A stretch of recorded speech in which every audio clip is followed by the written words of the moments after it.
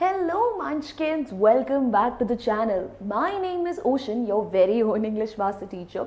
And today I am here to discuss with you 10 most repeated PYQs from Pro section. आप सबको पता है कि PYQs अक्सर आपके बोर्ड एग्ज़ाम्स में रिपीट होते हैं तो अगर आपको भी वो 10 PYQs जानने हैं जो शायद आपके बोर्ड में रिपीट हो जाए तो प्लीज़ इस वीडियो को एंड तक ज़रूर देखिएगा एंड सबसे पहले वीडियो को लाइक कर दीजिए and do not forget to subscribe to our channel as well on that note आगे बढ़ते हुए गाइस आज का एक क्विक डोज ऑफ़ मोटिवेशन लेते हैं, जो कि क्या कहता है your your positive action combined with positive thinking results in success अगर आपका एक्शन पॉजिटिव है, आपकी थिंकिंग पॉजिटिव है तो डेफिनेटली आपके रिजल्ट्स भी पॉजिटिव होंगे। आपको भी बस मेहनत करनी है और कहीं पर भी अपने दिमाग में ये थॉट नहीं लाना है कि आपसे ये चीज़ अब नहीं हो सकती। ठीक है, फिर इसी पॉजिटिव नोट के साथ आगे बढ़ते हुए आपको बहुत पॉजिटिव चीज़ बताना चाहती हूँ कि वेदांतों की तरफ़ से आपके साथ बहुत free of cost material share हो रहा है। जहाँ पे हम आपको फ्री सैंपल पेपर्स दे रहे हैं फ्री पी वाई क्यूज दे रहे हैं चैप्टर वाइज नोट्स दे रहे हैं, आपको हम यू नो टेस्ट सीरीज़ दे रहे हैं, सब कुछ फॉर फ्री ऑफ़ कॉस्ट और ये सब कुछ अवेल करने के लिए आपको कुछ नहीं करना है just go to the video you guys are currently watching जैसे कि ये है तो इसके अंदर जो पहला लिंक है ना, उस पर क्लिक करते ही आपके पास ये पीडीएफ खुलेगी। अगर आपने साइन इन करा हुआ है साइन इन नहीं करा है साइन इन करने को बोलेगा।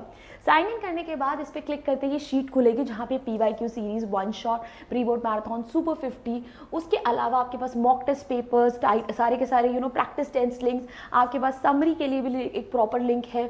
सब कुछ अवेलेबल है पी वाई क्यूज़ के साथ। तो प्लीज़ अभी जाके यू you नो know, इसको अवेल करिए बिकॉज़ आपके लिए एक बहुत ही बढ़िया मौका है। ठीक है आपको इससे बहुत ही ज़्यादा फ़ायदा होगा अपनी प्रिपरेशन में तो make sure to do that चलिए फिर आगे बढ़ते हैं हम ये काम तो हो गया। अब इसके बाद let start with the first question of the day ठीक है सबसे पहले मैं अपना पेन स्टार्ट कर दूँ। एक मिनट तो भाई पहला क्वेश्चन क्या है?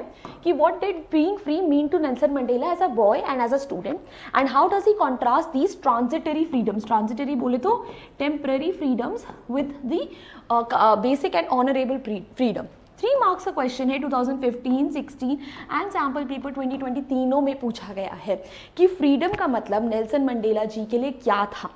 जब वो छोटे बच्चे थे।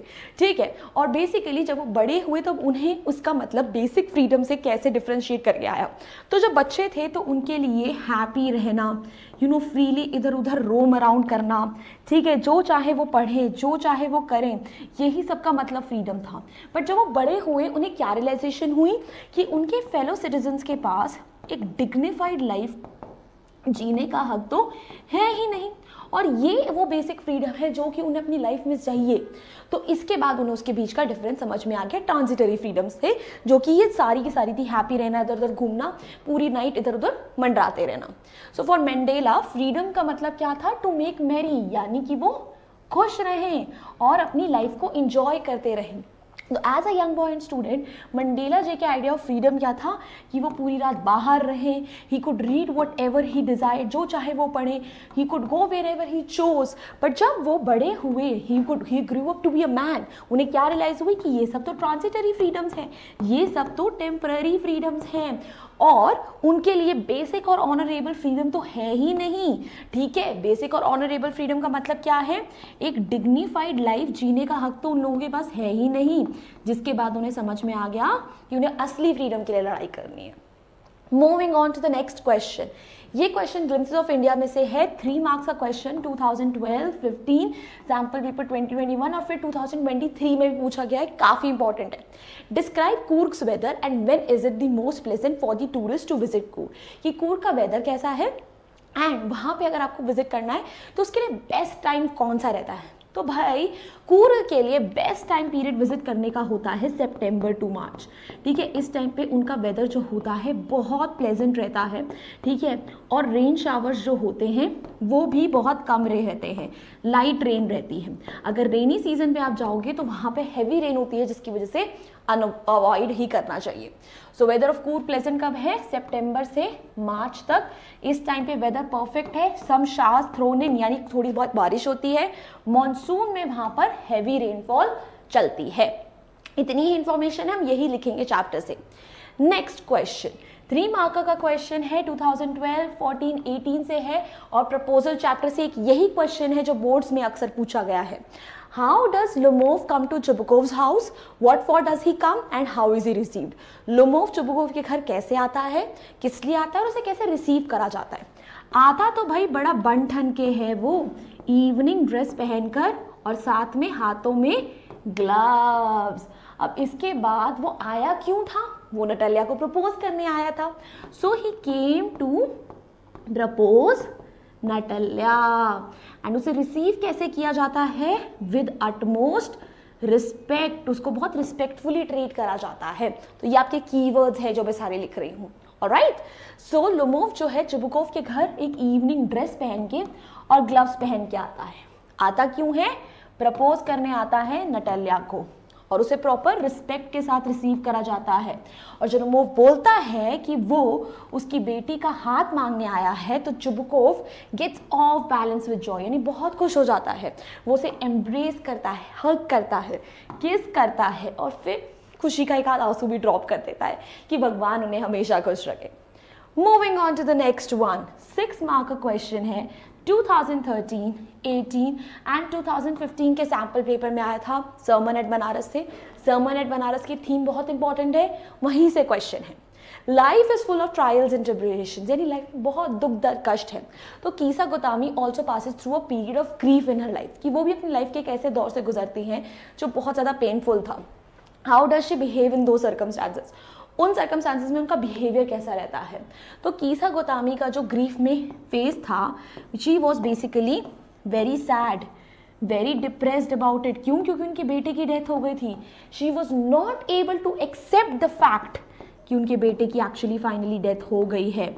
बट फाइनली गौतम बुद्धा जी की वजह से उनके अंदर वो एक्सेप्टेंस आती है और वो अपनी लाइफ में मूव ऑन कर लेती है। तो एक पूरा फ्रेज था फेस था उनका जब वो पगला गई थी जब उन्हें समझ नहीं आ रहा था उनके बेटे के साथ क्या हुआ है वो कैसे उससे डील करें। बट फाइनली गौतम बुद्धा जी की मदद से उन्होंने ये फ़ेज़ ओवरकम कर लिया। आंसर देखते हैं। सो so, कीसा गोतामी जी के सन की डेथ के बाद वो बहुत सैड हो गई थी। वो अपने डेड चाइल्ड को इधर से उधर नेबर्स के यहाँ कैरी कर रही थी, ताकि कोई उन्हें कोई ऐसी मेडिसिन दे दे, जिससे उनका बच्चा ज़िंदा हो जाए। नेबर्स को लगा कि वो इंसेन हो गई है, क्योंकि वो ये फैक्ट ही एक्सेप्ट नहीं कर पा रही, उनके बच्चे की डेथ हो गई है। फिर उसके बाद किसी और ने उन्हें सजेस्ट करा कि वो जाकर गौतम बुद्धा से मिले। और जब वो गौतम बुद्धा जी से मिलती हैं तो गौतम बुद्धा जी उन्हें क्या एक्साइज देते हैं? कि उन्हें एक ऐसी जगह से मस्टर्ड सीड्स कलेक्ट करने हैं जहाँ किसी की डेथ ना हुई हो। और इस एक्सरसाइज में वो फेल हो जाते हैं बिकॉज़ कोई घर उन्हें ऐसा नहीं मिलता जहाँ किसी की डेथ ना हुई। उसके बाद उन्हें रियलाइजेशन होती है कि जिसकी भी you you know know, birth हुआ है they are bound to die और बुद्धा जी इस तरीके से उनकी अंडरस्टैंडिंग चेंज करके उन्हें ट्रूथ के साथ यू uh, नो सामने आने में हेल्प करते हैं उन्हें उस एक्सेप्टेंस को लाने में हेल्प करते हैं जिससे वो फाइनली मूव ऑन कर जाए।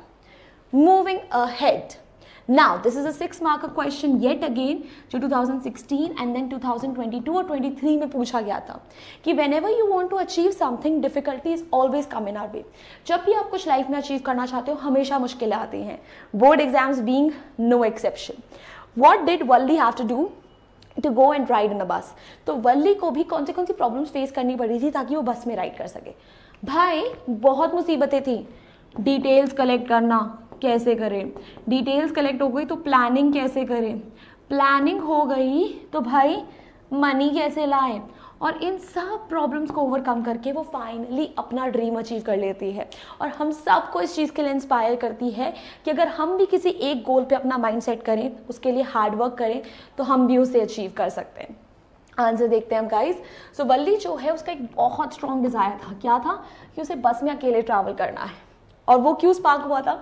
क्योंकि वो हर रोज़ बसेस को देखती थी ट्रैवल करते हुए अपने घर से।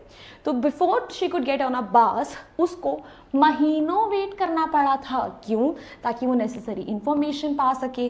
ठीक है, उसे प्रॉपर अमाउंट ऑफ़ मनी मिल सके जो जर्नी के लिए रिक्वायर्ड है। और वो सिर्फ़ आठ साल की थी तो उसके पेरेंट्स उसे अलाउ भी नहीं करने वाले थे।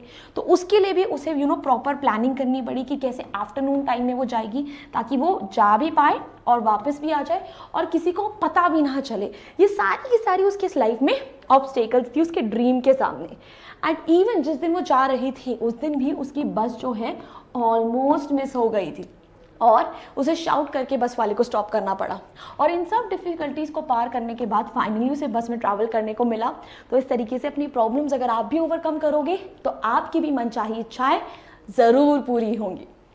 Moving ahead who is Lencho describe Lencho's qualities in light of his faith in God do you have faith in God like Lencho six mark का क्वेश्चन है ये 2013 2015 दोनों में पूछा गया है कि भाई लेंचो कौन है? लेंचो की क्वालिटीज़ आपको डिस्क्राइब करनी है गॉड के, उसके हिसाब से कि उनका गॉड में किस हिसाब से फेथ था। मतलब लेंचो की नेगेटिव क्वालिटीज़ नहीं हाईलाइट करेंगे, हम ये बताएँगे कि लेंचो उसका भगवान में फेथ था, इसीलिए उसके साथ जो हुआ। तो भाई लेंचो जो था, बहुत ही सिंपल था फार्मर था उसकी पूरा का पूरा लाइवलीहुड जो है फार्म पे डिपेंड करता था। तो जब उसका फार्म खराब हो गया, उसे समझ नहीं आया वो क्या करे, उसने भगवान को लेटर लिख दिया। क्योंकि वो इतना नाइफ इतना इनोसेंट इतना भोला था कि उसे लगा था कि भगवान एक्चुअली उसे सब कुछ दे देंगे। बहुत ही हार्ड वर्किंग इंसान था और जब उसे पता चलता है कि भगवान ने उसके लिए पैसे भेजे, वो खुश भी हुआ। पर पैसे काउंट करके दुखी हुआ। और उसने पोस्ट मास्टर पे शक कर लिया पोस्ट ऑफ़िस एम्प्लॉयज़ पे शक कर लिया, जिन्होंने एक्चुअली उसको पैसे दिए थे। बट इस टाइम पे भी हम उसे ब्लेम नहीं कर सकते। क्यों? क्योंकि उसका ब्लाइंड फेथ था गॉड में और वो बहुत नाइव था। इस वजह से उसने वो गैस नहीं कर पाया कि वो जो पैसे हैं, वो एक्चुअली उसे पोस्ट ऑफ़िस एम्प्लॉयज़ ने दिए हैं। करेक्ट आंसर देखते हैं। बट वो गलत था। रिएक्शन गलत था एक्सेप्टेड तो लेंचो जो एक फार्मर था, जिसकी पूरी लाइवलीहुड हार्वेस्ट पे डिपेंड करती थी, ताकि वो बेसिक नीड्स फुलफिल कर सके. और जब उसके क्रॉप्स डिस्ट्रॉय हो गए रेनफॉल और हेल स्टोन्स की वजह से उसे डर लग गया, उसे समझ नहीं आया, उसकी फैमिली आखिर सर्वाइव कैसे करेगी? ही बिलीव कि गॉड जो है, उसे ज़रूर हेल्प करेंगे उसकी प्लाइट में. प्लाइट का मतलब क्या होता है बेटा? प्लाइट का मतलब होता है सफरिंग कि जितना वो सफ़र कर रहा है ना, उसमें उसकी भगवान मदद ज़रूर करेंगे. अब उसका फर्म फेथ था गॉड में। और इसीलिए उसे लगा कि भगवान उसे कभी हंगरी तो छोड़ेंगे नहीं। और आजकल फेथ इन गॉड जैसा लेंचो का था, बहुत ही इम्पॉसिबल एंड अनसीन है। तो हम लोगों का तो बिल्कुल भी नहीं है इतना फेथ है बट इतना नहीं है। तो लोग जो है आजकल बहुत अवेयर हैं कि कोई किसी की बिना सेल्फ इंटरेस्ट के हेल्प नहीं करता। तो लेंचो का जो रिएक्शन था पोस्ट ऑफ़िस एम्प्लॉयज़ की तरफ़, वो इसीलिए जस्टिफाइड था, ठीक है? सॉरी वो इसलिए जस्टिफाइड या गलत था, क्योंकि, ठीक है नॉट राइट ना इसीलिए जस्टिफाइड और इसलिए जस्टिफाइड और राइट था क्योंकि वो बहुत इनोसेंट था। और अपनी इनोसेंस की वजह से वो ये चीज़ बिलीव कर रहा था कि गॉड से ऐसी मिस्टेक नहीं हो सकती। सो पोस्ट ऑफ़िस एम्प्लॉयज़ जो थे, उन्होंने ही उसके हिसाब से पैसे चलाए थे। और इसके लिए हम उसका साथ दे सकते हैं क्योंकि वो बहुत इनोसेंट है। अदरवाइज़ अगर आप practical point of view present करोगे तो आप बोलोगे कि नहीं लेंचो गलत है। वो इनोसेंट है, हमने सब कुछ मान लिया बट स्टिल उसे थोड़ी सी प्रैक्टिकलिटी लाकर प्रैक्टिकलिटी लाकर ये ढूँढने की कोशिश करनी चाहिए थी कि एक्चुअली उसकी हेल्प करी किसने है। ठीक है? नेक्स्ट क्वेश्चन थ्री मार्क का क्वेश्चन है गाइस 2015 एंड 2019 में पूछा गया है। Why did Anne Frank think that she could confide more in her diary than in people कि एन फ्रैंक को ऐसा क्यों लगा कि वो अपनी बातें कन्फाइड यानी ज़्यादा शेयर लोगों से ज़्यादा डायरी में कर सकती है। इसी क्वेश्चन को एक्चुअली और भी बोर्ड में पूछा गया है in the form of paper has more patience than people describe why ठीक है? तो क्यों शेयर कर सकती थी भाई? क्योंकि उसे लगा कि it is more reliable and trustworthy कि पेपर्स जो होते हैं, पहली बात तो हमेशा आपको सुनते हैं। ठीक है? Without any judgments and they are very patient listeners और वो कभी भी आपके सीक्रेट्स जो हैं किसी से शेयर नहीं करते। अनलाइक पीपल जिनके पास most of the time time ही नहीं होता आपकी बातें और आपकी प्रॉब्लम्स सुनने के लिए। सो बिकॉज़ एन को लगता था कि उसके पास पहली बात तो कोई दोस्त नहीं है जिससे वो अपनी बातें शेयर करे, इसलिए उसे लगा कि डायरी में बातें लिखना प्रेफरेबल है। सेकेंड उसके पास फ्रेंड्स थे भी तो उनके साथ जो है वो अपने व्यूज़ और थॉट्स अच्छे से शेयर नहीं कर पाती थी। उसे लगता था पेपर के अंदर लोगों से ज़्यादा एक तो पेशेंस है और दूसरी चीज़, लोगों की तरह पेपर जो है, हमेशा उसके तेरे रहेगा। लोग जैसे नहीं रहते, लोग ट्रस्टवर्दी नहीं होते, लोग रिलायबल नहीं होते बट पेपर पे वो हमेशा रिलाय और ट्रस्ट कर सकती है। She felt it okay next one why was the baker's furnace essential in a traditional Goan village? Three mark का क्वेश्चन 2013 2017 दोनों में पूछा गया कि बेकर का फर्नेस जो है, एक गोवा में क्यों एसेंशियल है? क्यों क्यों उनका कोई भी ओकेजन हो ब्रेड के बिना इनकम्प्लीट है। फिर चाहे हम फीस्ट बोलें, फिर चाहे हम उनके फेस्टिवल्स बोलें, फिर या फिर अगर हम बात करें मैरिज की इन सब में ब्रेड के बिना उनका काम नहीं चलता है। ठीक है? तो मैरिज में जो होती है, बच्चे, जब लड़की की इंगेजमेंट है तो मदर को सैंडविचेस बनाने हैं। ठीक है? बोल बोलिनास जैसे इनके जो गिफ्ट्स होते हैं, बोल जाती है मैरिज गिफ्ट में बोलिनास क्रिसमस में बनती है। तो इन सब की वजह से ब्रेड बहुत इंपॉर्टेंट है। तो डिफरेंट काइंड ऑफ़ ब्रेड जो हैं डिफरेंट ओकेजन पे बनते हैं। जैसे मोलिनास जो है क्रिसमस पे बनते हैं। फिर मदर्स जो हैं, वो सैंडविचेस बनाती हैं, जब भी बच क्या बोलते हैं, उनकी डॉटर की इंगेजमेंट है। तो इन सब रीजंस की वजह से बेकर की जो फर्नेस है, वो उनके लिए क्या है? बहुत ज़रूरी है। ओके मूविंग ऑन है ये थ्री मार्क का क्वेश्चन है। 2016 2018 में पूछा गया है फ़र्स्ट फ़्लाइट में से। How did the young seagull and and his family celebrate his first flight seagull और उसकी फैमिली जो है, उसकी फ़र्स्ट फ़्लाइट को कैसे सेलिब्रेट करते हैं? दे वर वेरी हैप्पी भाई फाइनली उनका बच्चा उड़ गया। So they were very happy ठीक है? They even offered him some scraps of dogfish ठीक है? दे स्क्रीम्ड यही कुछ उनके जनरल रिएक्शन थे। Correct so when the young seagull started flying and got over his fear his family screamed around with joy चिल्ला उठे उन्होंने उसको प्रेज करा and they offered him scraps of dogfish छोटी छोटी फ़िश दी टुकड़े दिए ताकि वो, क्योंकि वो बहुत खुश थे दे वर वेरी हैप्पी कि भाई फाइनली उनका छोटा बेबी उनके उनका सिबलिंग उड़ने लग गया था। ठीक है? नेक्स्ट वन थ्री मार्क का question B C sixteen and two thousand nineteen दोनों में पूछा गया है why did the writer follow the pilot of another plane ये द ब्लैक एरोप्लेन का क्वेश्चन है कि बेसिकली राइटर जो है, वो ब्लैक एरोप्लेन के पायलट को फॉलो क्यों करता है? Because he was is only hope guys उसके इंस्ट्रूमेंट्स काम नहीं कर रहे हैं कंपस काम नहीं कर रहे हैं, उस जगह से निकलने के लिए अगर उसे कोई हेल्प कर रहा है, इशारा कर रहा है कि मुझे फॉलो करो तो ऑब्वियसली वो उसे फॉलो करेगा राइट क्योंकि उसे अपनी जान बचानी थी। तो राइटर जो था, उसे ब्लैक एरोप्लेन दिखा जिसपे कुछ लाइट्स नहीं थी। और उसे फॉलो क्यों करता है? क्योंकि वो अपना पूरा रास्ता खो चुका था स्टॉम में and was unable to see anything उसे कुछ नहीं दिख रहा, उसके इंस्ट्रूमेंट्स काम नहीं कर रहे। और जो दूसरा एरोप्लेन का पायलट था he was helping him to get out of the storm and land safely दूसरा पायलट उसकी हेल्प कर रहा है तो ऑब्वियसली वो उसे फॉलो करेगा बिकॉज़ ना उस पर फ्यूल है, ना उसके इंस्ट्रूमेंट्स काम कर रहे हैं, वो खो चुका है, किसी को रीच आउट नहीं कर सकता। तो ऐसे में डूबते को तिनके का सहारा था वो black aeroplane correct that's it. We are done with the entire 10 questions. Wasn't it very quick? And guys, इसके अलावा मैं बता दूँ 9 बजे आ रहा है। पोम्स के ऊपर ऐसे ही 10 most repeated P Y Qs फिर 10 बजे हम लोग करने वाले हैं राइटिंग सेक्शन के ऊपर। क्या बोलते हैं हमारा? फाइनल रिविजन वन शॉट 12 बजे ग्रामर के ऊपर करने वाले हैं।